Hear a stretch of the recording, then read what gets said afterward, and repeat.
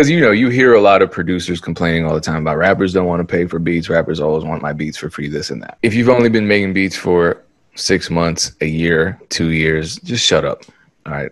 But for those of us who have really invested a lot into our craft into our business and so forth that can be a frustrating scenario to find ourselves in. However it's like saying all women are the same. I'm not dating anymore. It's just it's it's ignorant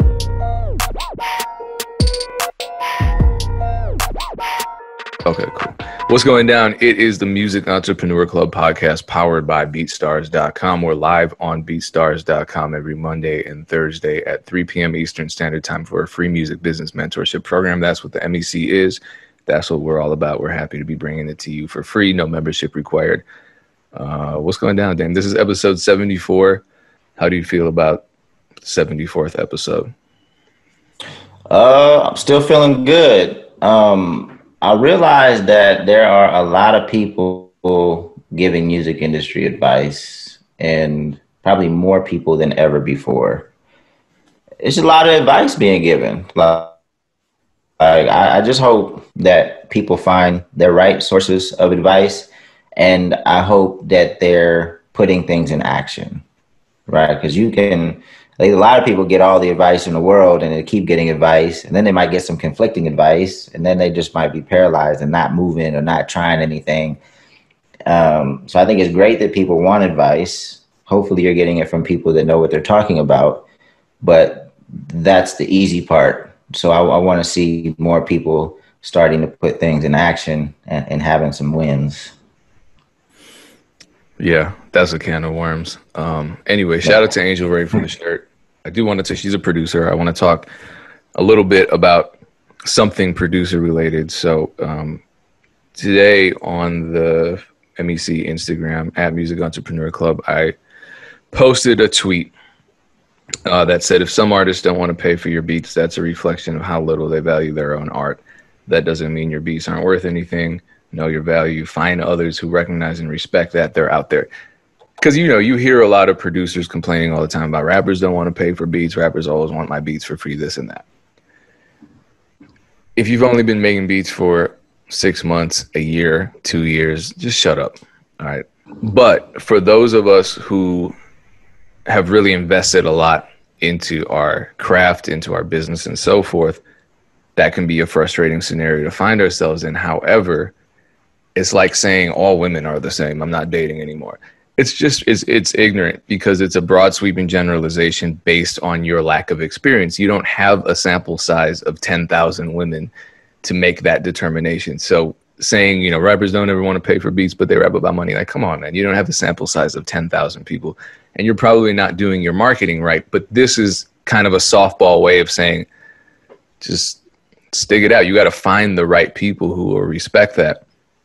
Because um, i think and you'll always hear me say that there are tons of problems on both sides of the creative coin. On one side, you have recording artists who don't understand the business. On the other hand, you have producers who don't understand the business and they miscommunicate quite a bit. Hopefully, some of the information we put out can help uh, mend that rift. I know we did that when we could still tour because we had rooms that were full of producers and, and recording artists. But anyway, one of the comments was, maybe they're unable to pay the fee, which in that case, the producer and artist can figure out back end splits. If the producer is relying on the upfront fee, then maybe they don't believe in the long term success of the record. I have my opinion on that, um, but I want to get yours. Every situation is different.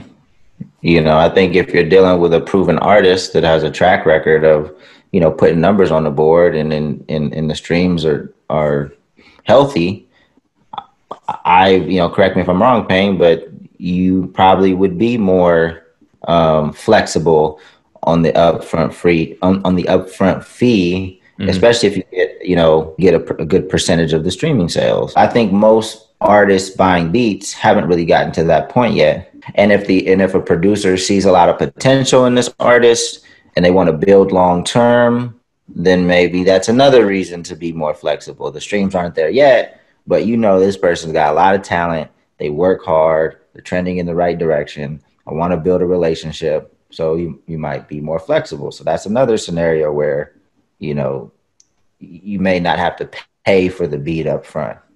Um, but ultimately, I think more often than not, I think artists should be paying. Um, you know, we're entrepreneurs. We have to invest in the business. You mm-hmm. know, as a as a cook or whoever, you have to invest in your ingredients. You can't, you know, can't get the sugar for free. You can't get you know, everything's not free. We're a business, and other people are depending on you know being paid for their services.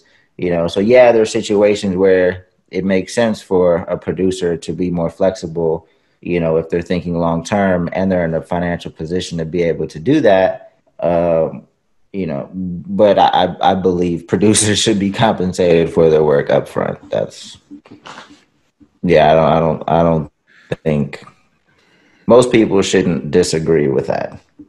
No, I think people always want to create some kind of counterpoint to whatever is said on the internet. But I do believe producers fall into this trap often because of that whole back end pitfall. You hear people talking about the. I had a producer comment um, in reply to that tweet. Actually, all um, they said, you know, what I do is I just ask for the back end on the um, performance royalties and the mechanical royalties. I'm like, the mechanical and performance royalties make up like 10% of a stream you're not getting anything because performance where you have to hit a certain threshold to even get paid through a PRO.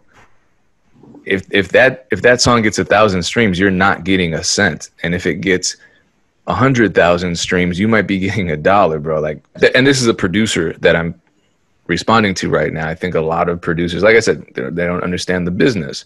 They don't know that the master um, royalties make up almost 60% of, of a stream. And so why would they, you know, they're going to be smug and say, well, I get my, my performance royalties. Performance royalties are nothing. When we're talking about streams, are they getting 400 spins weekly on terrestrial radio or satellite radio? No, they're not. Okay, cool. You're not making anything. So congratulations. You walked into a scenario thinking that you got yourself a good deal and you didn't. But going back to what you said, it's a huge red flag in any business when a person who's starting that business doesn't want to invest in that business. If, like you said, the restaurant analogy, you know, if I want to open up a restaurant and I'm looking for space for that restaurant and I'm talking to the to the landlord and I'm saying, you know what, I really don't want to pay rent on this.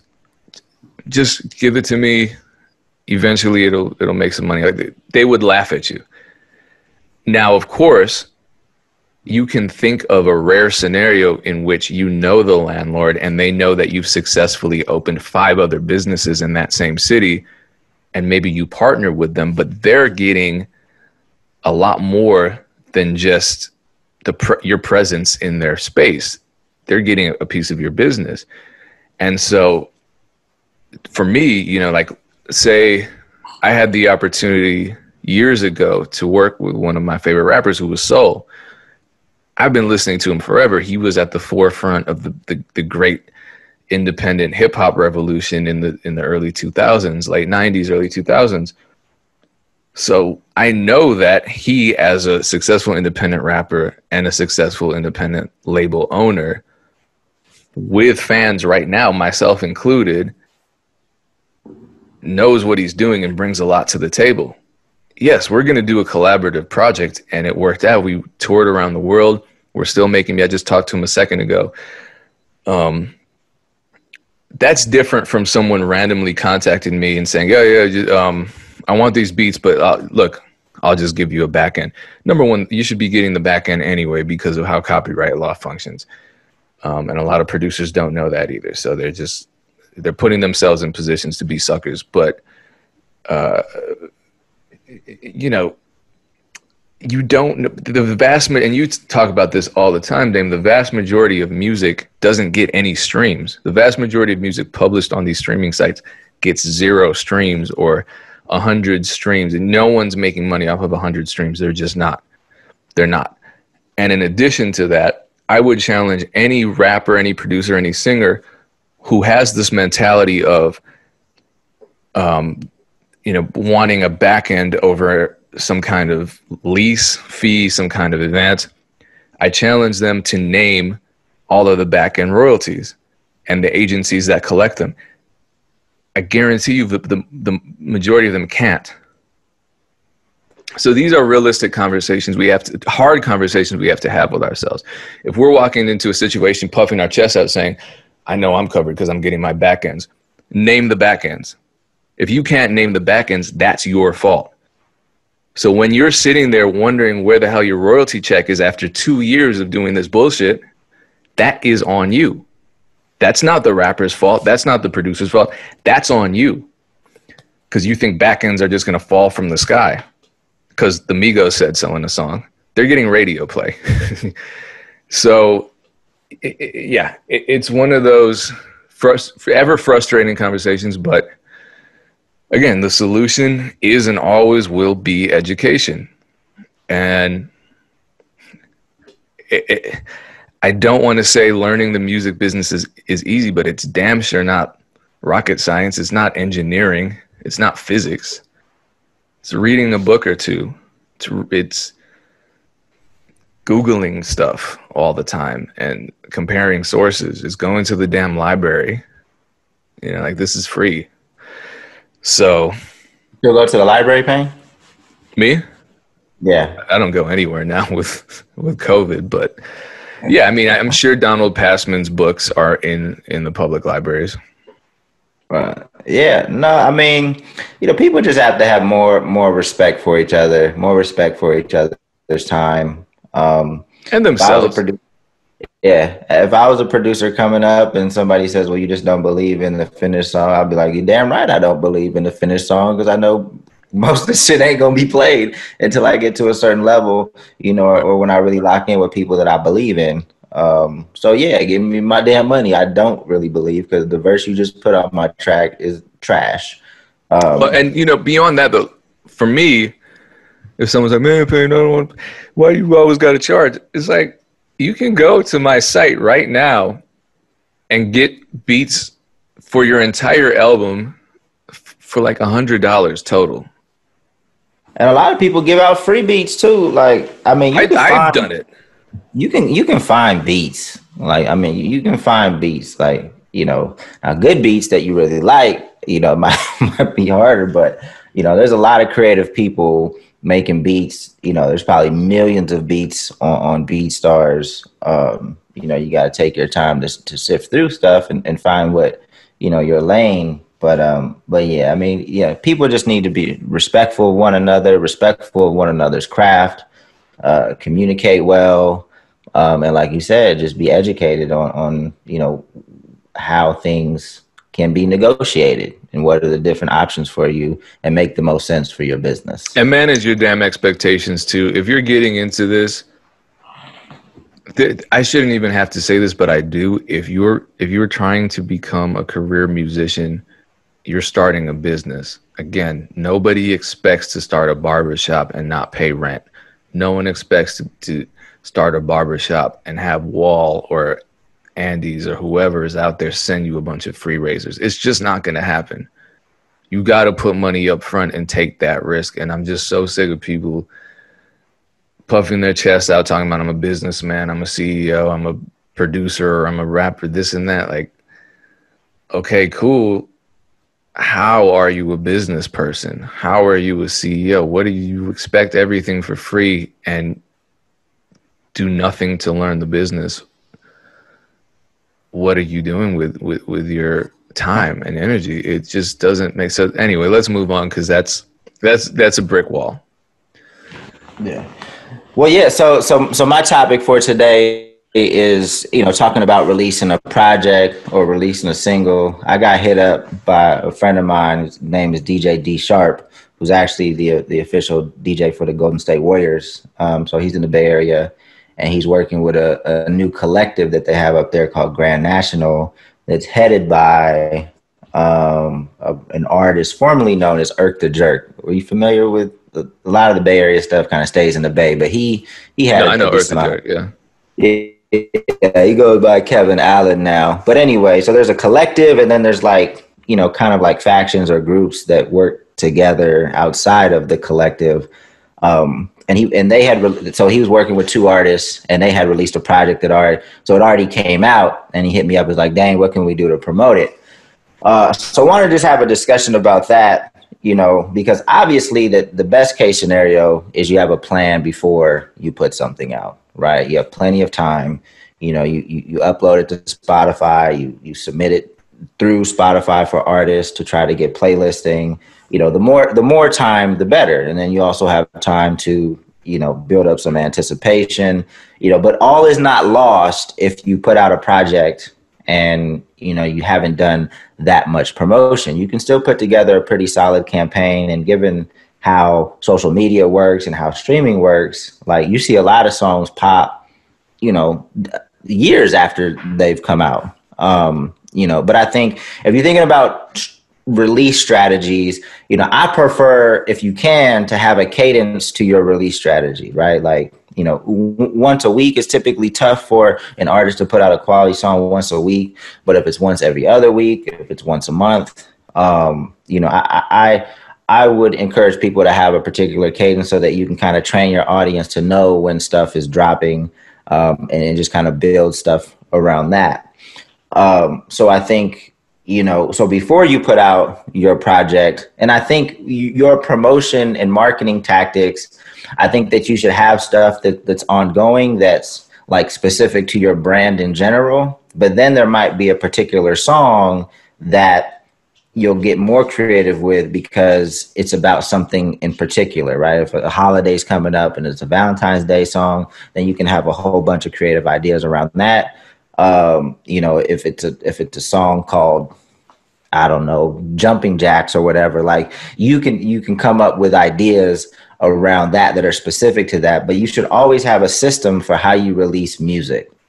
So, and what I, and what I mean by that is, you know, when we used to release a song, I basically kind of had like a long checklist of things that we would do on the day of its release.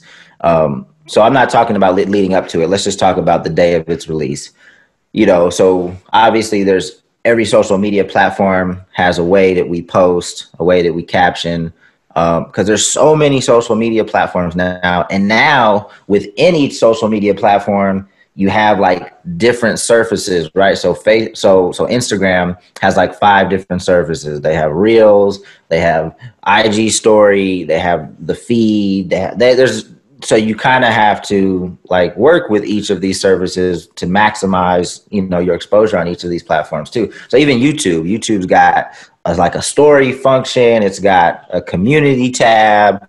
So i think now it's even more broad and if i was releasing music today the list would be even longer. But you want to have some consistency in how you present your release on on each of those platforms that you have a, a presence on or that you work so there's that. And then separate from social media, you know, we would I would have an email list. I would have two email lists. So I would have an email list of of fans, and then I would have an email list of like influencers or industry people that I was just trying to keep abreast of what we were doing. Right. So I would have the email list, I have two different email lists. I would have um, a text marketing list. Um, and then some ideas specific to each one of those each one of the releases you know like i said if it was like a, a particular topic. Because if it's about coffee for example you know you might want to dm some other pages that have more of a coffee focus or maybe a, a, a, podcast that talks about coffee or something. Then you can just dm them and be like hey i'm putting out this song. It's about coffee um, I, I, see that you have a podcast or a show on YouTube. Would you like to use my song in your video? Um, so there's a lot of that going on in the early days. If you have a song that you think fits something um, that other people are talking about, you just always want to find ways to collaborate. And I would encourage people to find a collective of artists where you guys can support each other. Now, DJ D Sharp, obviously, they have a, a Grand National is the collective, so hopefully, it's going to be easier for all of them to promote their music if everybody's on board. If everybody, if a song comes out, no matter who in the collective puts it out, everybody should be on board, like pushing it, you know, or pushing everybody to the Grand National platforms to get exposure. So there's a lot of different things that you can do to release a project you know? So i think you can split it up into you know ideas that you have leading up to the project idea a system that you have after the project and then think about your brand in general and then think about that song specifically to come up with more creative ideas. And i think if you look at it like that and come up with a more comprehensive plan you know i, I think that you know you, you can try to squeeze as much juice as you can out of whatever you're putting out. And the last thing i would say before um, before you can chime in and, and, and add your thoughts pain or, or questions uh, sometimes the best promotion for the last song is another song. Um, you know so just keep keep a regular cadence of, of content coming out um, you know, and have that system, have that system in place so that there's some consistency in how you're releasing your your your your work, and then you know, educate yourself to see if like how these social media platforms are changing, to see if you need to make any adjustments to your system, or add on to your system. So you might not you might not have the contacts that I have, but you're adding to your Rolodex as you're building relationships, as you're putting out more music. So you're adding to that second email list um, you know, you might meet a program director at a radio show that's not going to play your music right away, but you just want to keep them, you know, you want to let them know that what you have going. So it's a lot. I mean, it can be a lot, but hopefully, if you're more organized and you have some consistency, you know, in in your releases and how you're promoting stuff, you know, hopefully you get more traction and you know you put a lot of work into these songs so you want to try to get as much exposure as you can so just come up with some creative ideas, um, you know, to do that. Yeah, I mean, I think cohesion is is really important, just because of the current landscape of music. Uh, you're talking about all the different surfaces. I mean, each social media site is now competing with with TikTok, so they all have some kind of. Even Twitter just added what are they called? Um, is, I heard of like is, is Fleet Fleets with it? Yeah, it's like a story uh, story function. And I heard that they're gonna be, you know, have like a, a clubhouse. They're gonna be compete with Clubhouse and they're gonna have like an audio platform. So it's a lot. And I, I know that it gets overwhelming. I know that it gets overwhelming, you know. Um and and and sometimes people are like, well, do I need to be on all platforms? I would say that you need to be where your fans are. If your target audience is on a platform, you know, I would encourage you to be there. But then I also know that like sometimes artists take a liking to one platform more than another, and it's it's less it, it's less of a job. It feels like less of a job, and it's more fun if you actually like the platform. Yeah. Um, so you know, if, if if you can be more creative on a platform, it's more fun for you. Then then make sure that you know you really invest heavily into that but I wouldn't just ignore other platforms if they have people that fit your tar- target demographic. I mean, it's free to be on there. You might as well have some presence on there. Well, I think you said something that was key to what what point I was about to make, which was about cohesion and just looking at all the different options for content and the necessity of using them all, um, whether it's a reel or a TikTok or a fleet or a story or um, whatever content you can post on the community tab on YouTube or a YouTube video or just a regular Instagram uh, timeline post or a tweet, you know, whatever it is, Facebook. Facebook is actually not dead. um, if you had asked me three years ago if Facebook were dead, I probably would have given you an emphatic yes. Uh, now, really depends on the content. Um, I feel like video content well, I can't even say that because then you're going to say, well, Big Jah just got 80 billion video views yesterday. So for me, video content isn't doing great, but um, text based and, and photo based content is, is doing really well. Yeah. And it really just, I mean, obviously I work more with comedians now, so I'm not really checking to see what, what musicians are doing on Facebook. A lot of musicians have abandoned Facebook because they just think it's a desert and they don't think, you know, there's anything there. Um, you know, but I've seen even some of the videos that other comedians put out, or even some of the ones that we've put out.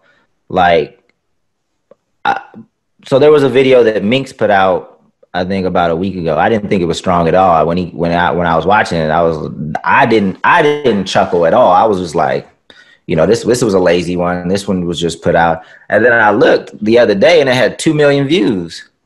Yeah. I was like, shit. I mean, I know, you know, we don't all have that same sense of humor, but you know, See? so I'm going back, I'm going back and I'm I'm kind of studying, looking through the comments to see kind of where the funny was and what really, you know, got people's attention. Um, so you just never my, my point is you just never know. Like when you're consistently putting out content, you know, as long as the content's good and it's getting better over time, you never know who's gonna see it and when it's gonna, you know, somebody maybe a bigger platform shares it and the algorithm you know takes notice and it just starts spiraling out of control you just never know when it's going to pop and that's and why that's you'll different. never you'll never write the next great um, Madea sequel but right. for, for just posting all this stuff on on social media i see so many people either if they're doing it they're just all over the place it's like family photos plus what they ate for breakfast plus them working out plus their song plus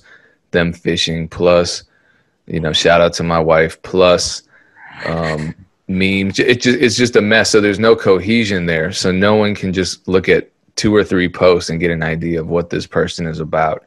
And then if and when one of their their songs or one of their posts takes off then they're not going to maximize that attention. Um, I, I, knew that happened to a, group that that I uh, was sort of in a long time ago. They had a Facebook page back during like the big Facebook renaissance, and I think they posted some memes or something, and all of a sudden their their page blew up. They got like a quarter of a million likes uh, on their page, but no one knew they made music. So when they started posting music, it just fell flat.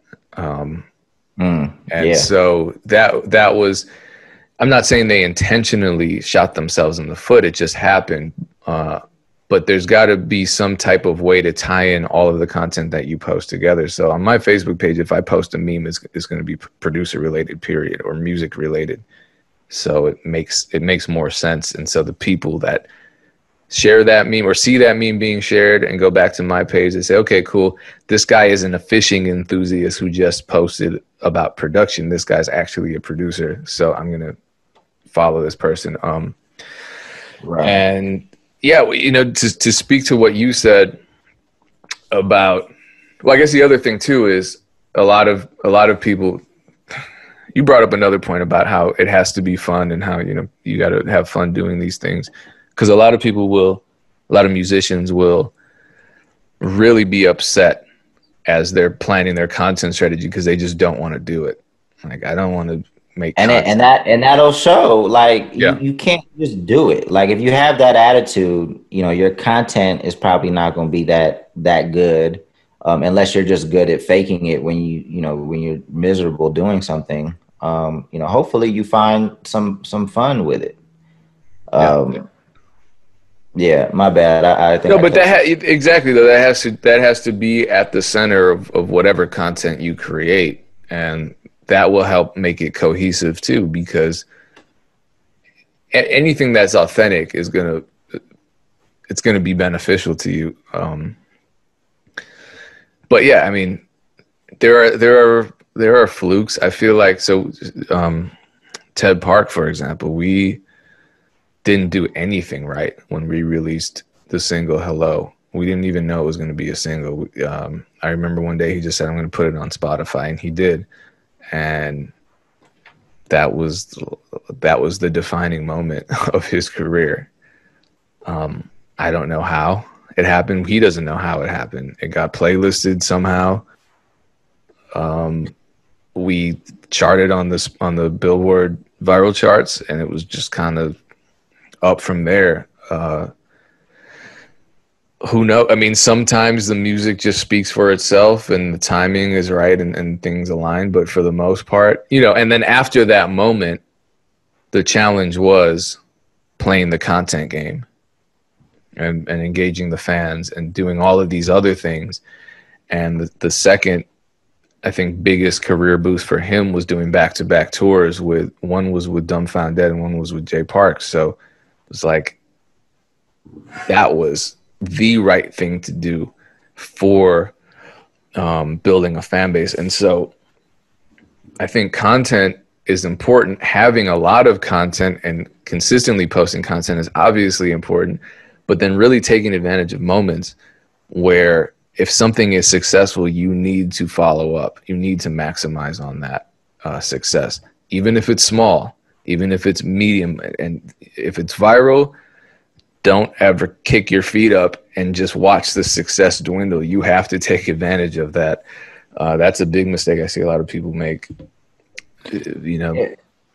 And sometimes these moments are going to happen like randomly, but you can increase the chances of something. Oh, yeah popping, right? We I just had a cat named Biddle on the MEC on Monday, and he shot up from I think like 2,000 TikTok followers to 40,000 earlier this year, and then he went from 40,000 to 1.5 million. Um, and one of the pivotal videos that sparked a lot of that growth was, I guess, a remix of of, of Jack Harlow's song. Um, and he didn't even do this on purpose, but it just so happened that he dropped his remix on TikTok the same day that Jack Harlow dropped the official remix.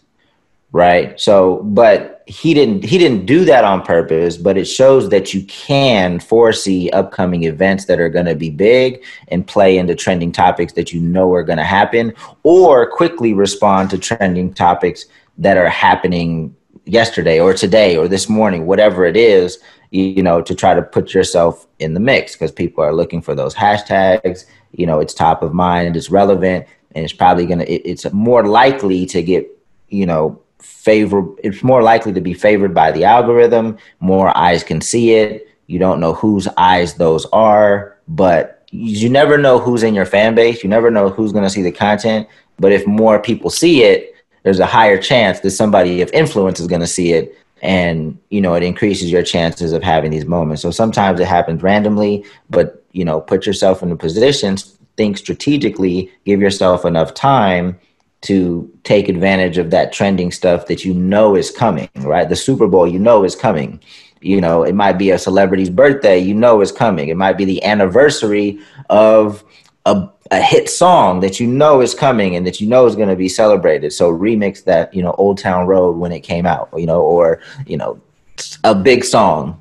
So you can do things on purpose, but always have your brand in mind. Like, you know, do things strategically, but always tie it back to your story so that you're not just doing extras for no reason. People can see that it makes sense for, for you. And then you can reach out to a producer and say, I'm not paying for this beat. I'm going to give you the back end and life is good. All right. So, uh, again, this is the Music Entrepreneur Club podcast powered by BeatStars, and we are live on BeatStars.live every Monday and Thursday at 3 p.m. Eastern Standard Time. Um, Dame, what is that phone number to text so that they can get alerted when we're live? Text MEC to 844-206-7800 um, and we'll send you a text before we go live every Tuesday and Thursday. Once again, appreciate you tuning in. This is the MEC podcast. Until next time, peace. Peace.